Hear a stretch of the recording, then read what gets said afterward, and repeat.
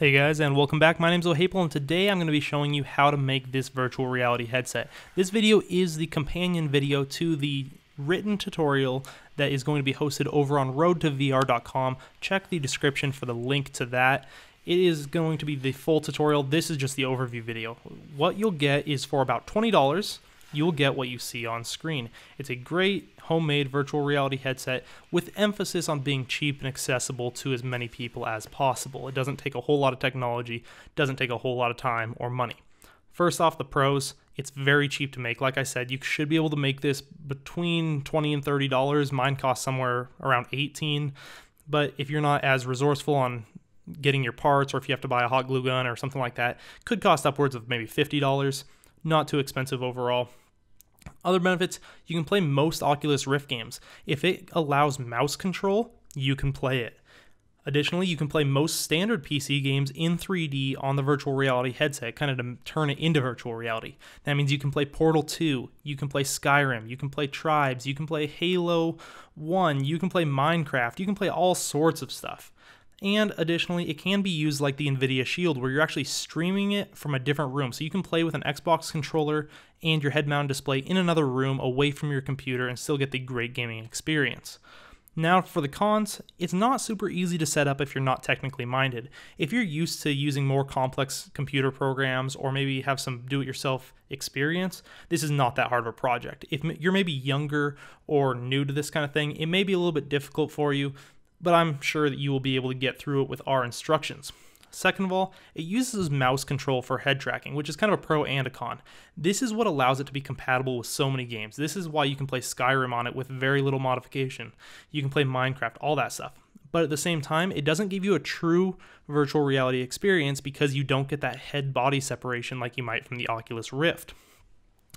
Lastly, there is a a display lag where this might be 10 to 100 milliseconds depending on your computer and your network.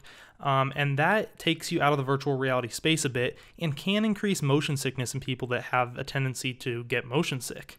So keep that in mind if you are going to dive into this project. You're not getting the quite as good of an experience as you might with an Oculus Rift, but again, you're only paying 20 to 30 bucks for it.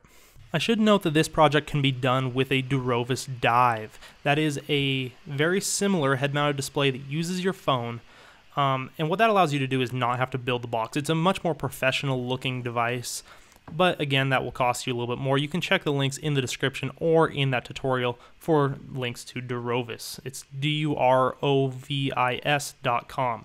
Now what you see on screen is the programs that it takes to actually get this to work. There's only two programs that are absolutely required, and that's FreeTrack, which is the program you see on the top left. And what that does is it detects the LED and moves it around and tracks your mouse around with the LED. The second program that you absolutely must have is called Splashtop.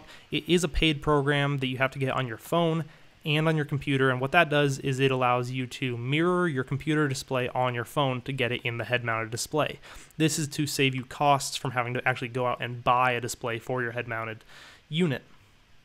Other programs that I recommend, TriDef 3D is great. It allows you to play lots of games like Portal, Skyrim, 7 Days to Die without having to actually go in and mod them or anything like that. And also, you saw us using key sticks there. That's how we're able to interface our wireless Xbox 360 controller with the games.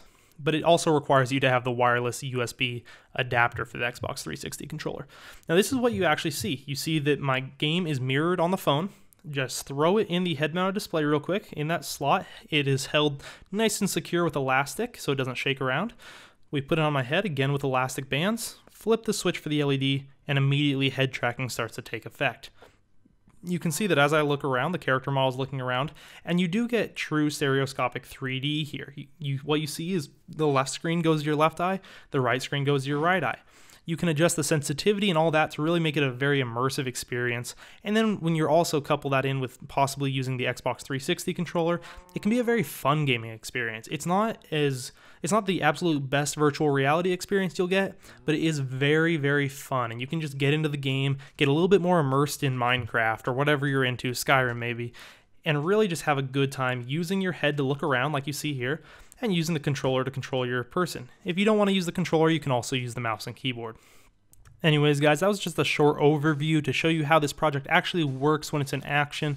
I hope you enjoyed the tutorial. Let me know if you have any questions. You can post them in the comments section of this video on my YouTube channel. Make sure to like, favorite, and subscribe if you did enjoy it. Go check out Road to VR if you're watching this on my channel, and I hope you have a great day.